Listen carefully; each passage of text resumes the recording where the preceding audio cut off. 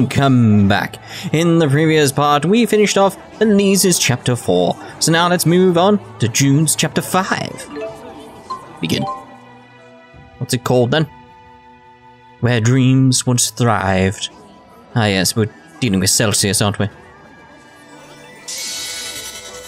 Celsius. The ice spirit climb is quite intense here. Yeah. We thought it might make you feel a little more at home. It is quite pleasant.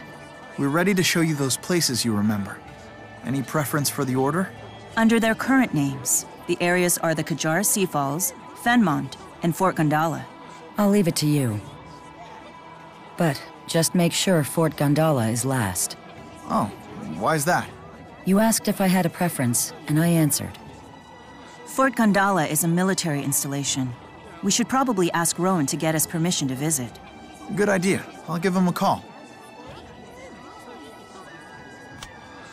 In the meantime, let's start by visiting the other two. So where to first? Take me to Kijara Sea Falls, or this Fennmont of yours. Let's go to Fennmont. Because I know Kijara Sea Falls has a skit, at least. Um, I don't no idea where to go in here. Probably here. Right, so where have we got to go in here? Ahaha, so we head for the palace. We've only been into the palace once in this entire game, haven't we? Although we only went into it once in the first game, when you think about it. It just feels like it's a, an area that's not been used that much.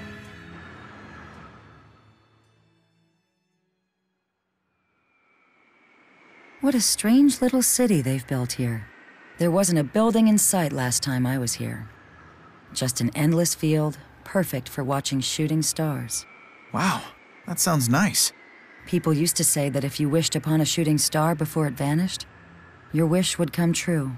The human who brought me here loved those silly superstitions. He taught me all sorts of them. Like what? Hmm. Hmm. I like R1 better still. Those two have developed quite a rapport. Indeed, that's Jude's gift. He can make friends with anyone. I'm always amazed at his ability to put me at ease. Celsius taught me a 500 year old method for making wishes come true. Want to give it a shot?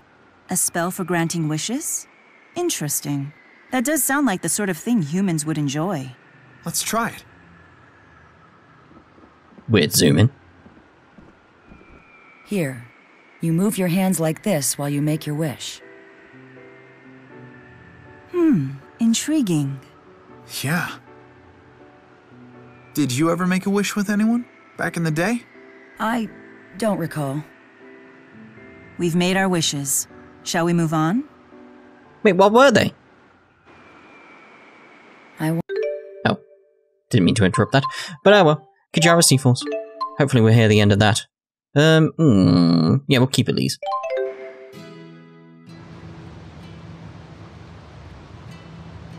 Guess we don't hear the end of that. Oh well. That's a nice breeze. I could stand here all day. Always like going on about the breeze. Oh, we should really enter from the other side. Right, so... Yeah, carrot entrance. It's close to where we should be. I've interrupted that one as well. It's like, oh dear. Um, clearly the wrong way. Yeah, there we go. So it's that way. There's any cats around that I haven't found yet. Because I know there was one here, but I think I already got it a while ago. Been playing it. Yeah, you can see it on the map that I've got it. Oh, god damn it! Load it then. What are the load times in these battles? I've still got the guns from the previous part. Um, let's team up with Mila here. Oh. Oh, we nearly got level up O's, but just, just not enough. Not enough for a level up O. Let's go. Hey, jump. There we go. It's like, Jeez, just let me jump down. It's not as bad as the jumping in Final Fantasy 15. As, as we all know, that was really bad. Like, just trying to interact with anything made me jump. God. Right, I'll be there, yeah. We're near enough there. We're near enough there. Ooh, elementum thingies. This is just as I remember it. Cool and relaxing. So it's always been like this? They say that couples who stand at the top of the falls develop an intense bond for each other. Daredevil lovebirds used to scramble up there all the time. One man in particular was persistent in inviting me as well. Oh! A human man? Yes. Of course, as I am a spirit, I did not accept, but he refused to give up. Turning him down was a chore. I see. It must be an important human custom. Actually, I've never heard about it. Hmm. Then perhaps it's fallen out of practice. Shall we give it a go? Yes, why not? And you needn't worry about slipping. Undine will make sure your fall isn't fatal. Not fatal? My nostalgia is satisfied. You may do as you please. All right. Then we'll be back in a jiff, okay? Are those two always like that? Yes. Yes, they are. They do seem very close. Interesting. It feels like only yesterday that he and I talked here. Has it really been 500 years? Clearly misses him. You should you should have gone along with whatever he said. We went all the way to the edge. Maxwell, I didn't think you'd actually go through with it. The view was worth the trip alone. And you should have seen Jude. Mila, I told you to pretend that never happened. Ah, that's right. I quite enjoyed it, to be honest. But if you found it upsetting, I shall suppress the memory. Well, in that case, you don't have to forget it, but just keep it between us, okay? Very well. It shall be our secret. Well, that was certainly fun. On to the next stop. It's like, dear, oh dear. Yeah, Celsius should have gone along with what the guy wanted in this regard, at least. it's like, clearly he just wanted to show her how much he cared about her. And like, surely, surely, surely, surely. She clearly cared about him. I'm waiting to see if there's a skit. There should be a skit. Alright, guess there's not. It might be in our next location, which is Fort Gandala. Which is the question mark. So how do I get to the question mark? So I need one of those green marks next to it. Do I have one of the green marks next to it? I have the high road. So there we go. Run through as quickly as possible. So Fort Gandala is what I'm after. There's only one way to go in here. Isn't this the place where it's like, like there's a lot of Gavin stuff going on? That's what I remember from the previous game, because I actually linked that to Sarah, some of the stuff going on about Gavin. Now, Gavin is prevalent in this series, but we don't know who Gavin even is, or was, or could be. Hmm. I wonder if Gavin was from a fractured dimension. That might explain a few things. Like, they're searching for Gavin, but they can't find him because he's not from this dimension. But surely, hmm, shouldn't there be a Gavin in every dimension when you think about it then? So where's our Gavin? Maybe he's got a different name in this dimension.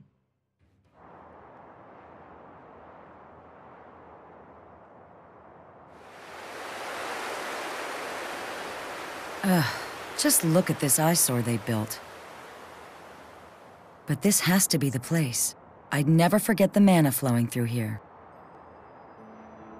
Why is this place special to you? Because this is where I met him. Who? The first human I ever met. Have you heard of a man named Howe? That name sounds familiar. Wait, you can't mean Dr. Howe. Isn't he the head scientist who laid the foundation for spirit arts? If that's the case, his inspiration must have been. Probably me. We even lived together for a while. He insisted.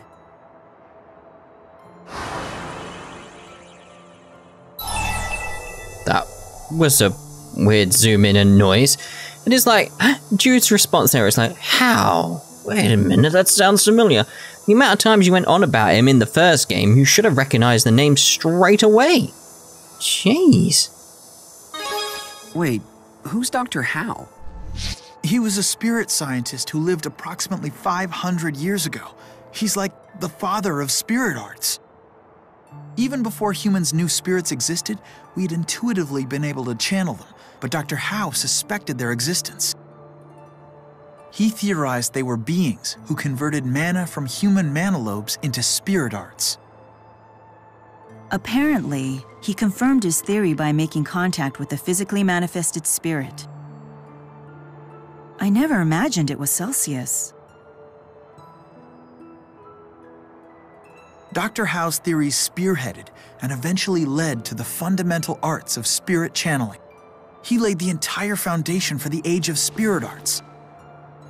You make it sound like he was some noble historical figure when really he was just a lovesick fool. Always finding an excuse to get close to me, trying everything he could to woo me. Wait, wait, Dr. Howe hit on you? Have all of these locations we visited been places you spent with Howe? Yes, he used to drag me everywhere, always talking passionately about his dreams for the future. The way most humans do with their friends and lovers. But ultimately, humans and spirits are different creatures.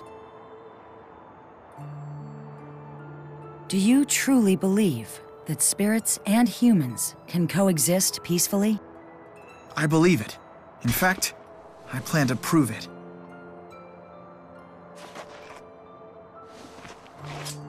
We have vowed to do everything we can to accomplish that goal.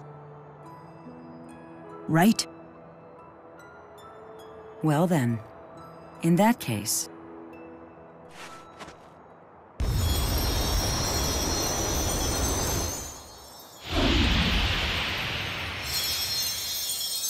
I think that we should put your vow to the test.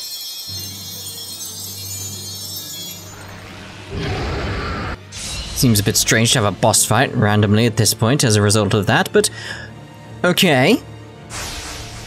Why must you remain so stubborn? Fine by me. Right on swords as well. Still win.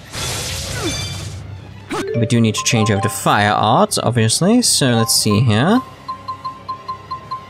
Crimson Fury. We already had Crimson Fury out. Oh, it's just Crimson Fury that we've got. I'll just have it twice.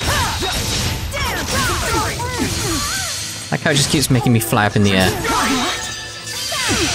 Oh dear, oh dear. Should have really had some food before this, just like I completely forgot that this was going to be the fight we had. Frame rate is just terrible once again. We don't like the frame rate in this game. Ken needs a HD remaster, that would solve it. This is the only Tales game I remember that has frame rate issues. You let me do stuff? Thank you. Lovely. I Want to get our chromatus up to three before we use it. And get the most out of it. This other thing is annoying me though. It keeps just interrupting me. It's like, can you just not bunch up together? Would be nice, please. Let's go go with the chromatus at this point.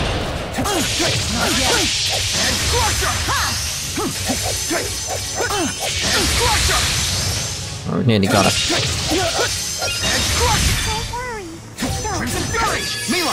Should be it. No? Oh. There we go. Right, take out the big thing now. Conserve your energy. That's what I'm doing. Not got any TP left. I mean, what even is this? What's it called? Aqua Dragon? Enslaved? And what's this whole thing about not, not enslaving spirits, and then she's got something that's enslaved? How does that work, Celsius? Something tells me... You're all talk. Let's get some TP going at least. Get this thing dead quicker. We meant to hit it when you do that. Mila! Gotta That should be enough. I don't want to waste any TP or anything. I don't have to. This is proof of our vow. I hope you can finally understand. no, I've sur- I've gotta get Still an odd way to prove I it. know you can.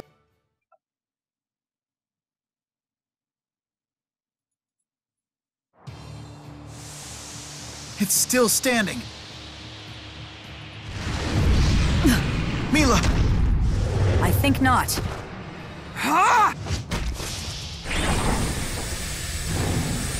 Look out!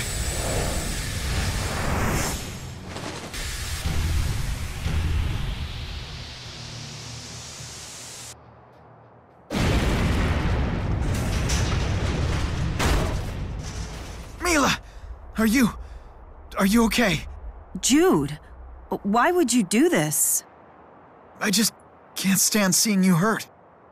I wouldn't do this for just anyone, you know. Don't you see that? Jude, you idiot.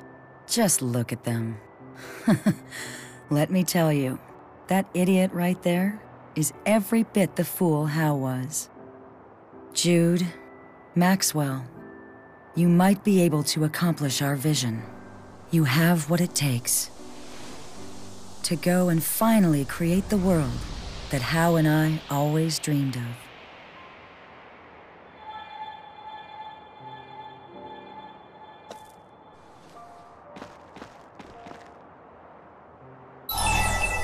Um, she went and died. How are you two? Get a room, you two. Yeah. I'm Sorry about that.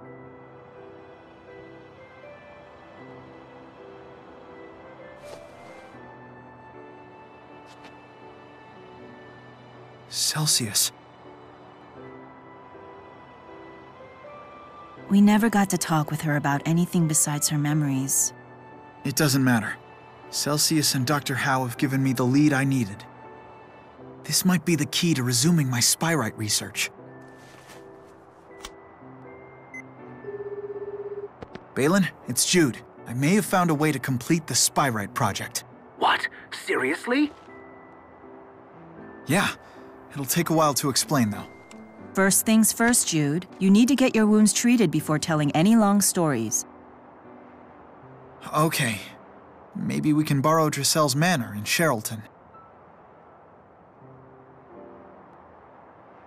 They are so in love. Right, the Lord's Manor in Charlton. What I find odd, Such foolishness. This really makes me question your priorities, Jude. Huh? Are you mad at me? there's a there's a fly buzzing around. Go away, go away, fly. Yes, what I find odd is these guys were just hanging about while this fight was going on. You could have helped, you know. Fine, fine. See if I care. See if I care. I do care, quite a bit. Right, so to the manor. Don't know why we've got to go to the manor though. It's like may as well just head back to the whole way to the um, research base thing. What's it called again? Can't remember what it's called at all. I really shouldn't have had that Coca-Cola. Got burps forming all over the place and my stomach feels a bit bit odd ever since yesterday. It's terrible. I had, I had something to eat that was just did not agree with me. It's bad. It was bad. Hold still. I can't treat your wounds if you keep squirming. I told you, I'm fine. I already gave myself first aid. Now, now.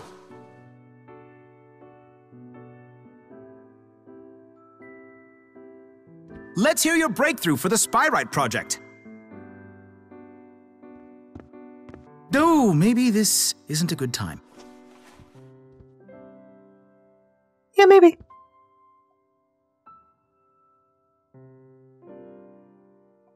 Balan, thanks for coming. Wild wyverns couldn't have kept me away. Now, what's this revelation of yours? Well, Spyrites are essentially just spirits, right? Even once they become Spyrites, they still have their own minds. So instead of trying to control them, we should be asking for their cooperation. Asking for their cooperation. How exactly? That's the thing. It's the same way Rieze Maxians do it every day. Uh, of course. What we need to do is get some, like, brain surgeons, open them up and install some artificial mana lobes. And you figured out the method? Sometimes you get so close to something that you don't even see it. It's spirit arts. Ah, yes. The process in which spirits perform arts for humans in exchange for our mana. It presumably requires some form of communication to form a contract. So, spirit arts are actually a conversation of sorts. Dr. Howe was originally trying to communicate with spirits when he invented spirit arts. It must be that the arts contain within them a message that's sent to the spirit. You're right. We picked up on some incomprehensible system of signals when we were analyzing the spirit arts process.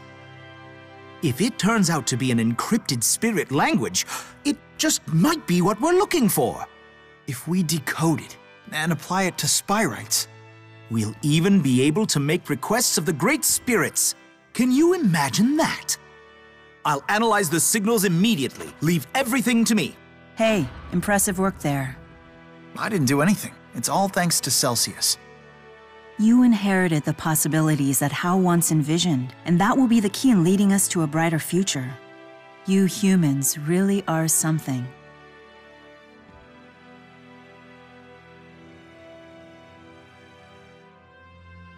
Thank you for everything. I will make sure that your dream comes true. Are you talking to the window? That seems strange. But there we go. We found a way to the future now. Are they gonna say anything? That's the question. We'll head towards Mila, though. We'll, we'll see if that actually opens up anything on our way to Mila. But we won't be doing Milas in this part. Obviously, that will be the next part. We'll just see if anything pops up at all. it seems strange that I'm not getting anything now. Maybe my affections, etc., are too big now. Some strange way of putting it. I can't make coherent sentences these days. It's very strange. I don't know what's going on. Right, so where is it? I'm, I'm looking for... Not swap members. Looking for affinities. There we go, that's what I'm after. No! No! I, I was expecting it maybe like it was full or something like that, and that's why we weren't getting anything, but no. Just seems to be completely... that we've not hit another heart. Oh well. Right, so, I guess that's where we'll be ending this part then. In the next part, we'll be carrying on with Mila's chapter 6, I think it is? We'll see you then. Ta-ta for now.